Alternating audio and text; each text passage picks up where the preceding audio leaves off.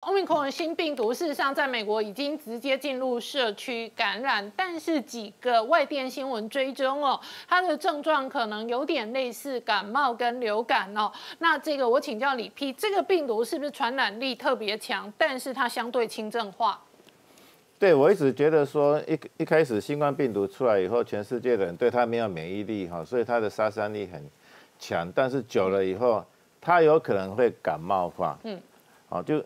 我们看那个其他其他专家哈，世界上其他专家，他们其实都说是流感化了。嗯，啊，流感化跟感冒化不太一样。哦，流感化就是说它会慢慢的降低毒性，但是它每两三年一次突变，它还是会造成相当大的伤亡，所以你每年都要打不同的流感疫苗来预防它的突变。这是流感化，这叫做流感。嗯，啊，感冒呢，就是说你曾经得过一次以后，你就是有交叉免疫力，然后呢。这个病毒再怎么突变，你都是无症状感染或轻症感染，你根本感觉不到它的存在，就变成所谓的终身免疫。哦，你不需要不停的去打这个疫苗。哦，那我一直推测说，这个新冠病毒以后可能会感冒化，因为毕竟它就是冠状病毒的一种。那我们现在有引起人类普通感冒的四种冠状病毒，那我们研究也知道说，这四种冠状病毒它也是不停的突变，我们也是不停的会重复感染，但是它都是轻症。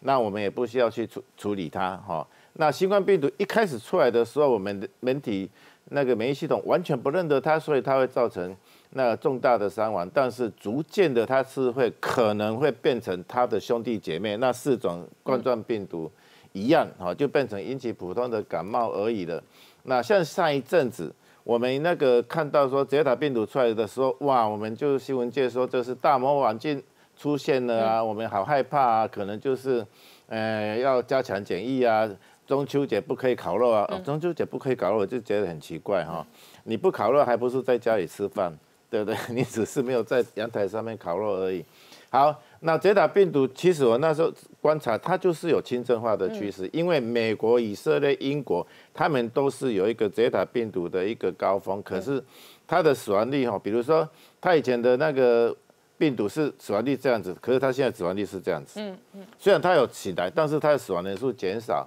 那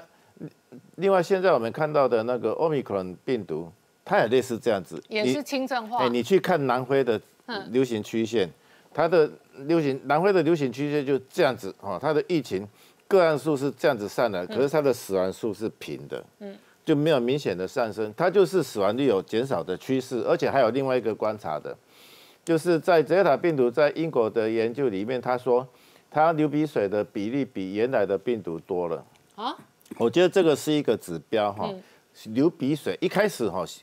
那个新新冠病毒一出来的时候，它主要是侵犯下呼吸道，会引起肺炎，所以它有很大的一个伤亡的比例。我，就下呼吸道感染，那时候统计。那时候中国的统计一开始大概就是只有百分之五的人会有鼻子的症状，他直接就跑到你气管去了，所以他伤亡会比较大。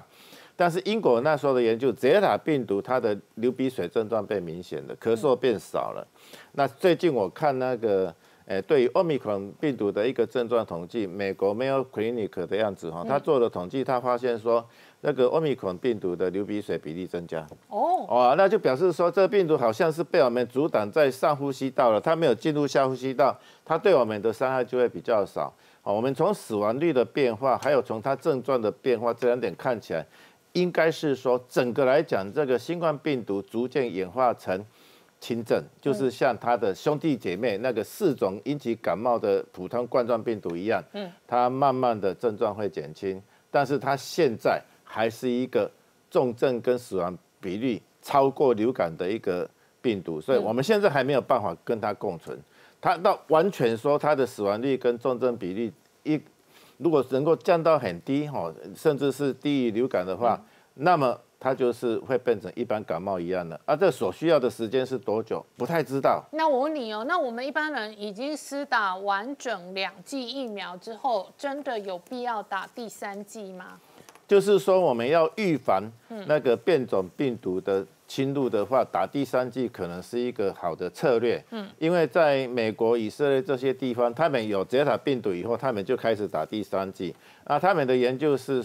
看起来是说，你打了第三剂以后，你的抗体会再度拉高，比第二剂还高。很高的时候，它对于变异病毒就会比较有一个交叉保护的效果，它可以提供。可能五十到八九十 percent 更高的一个保护效果，所以为了因应变异病毒的入侵呢，所以我们才会说我们也是开始要打第三剂疫苗。当然，这个这个是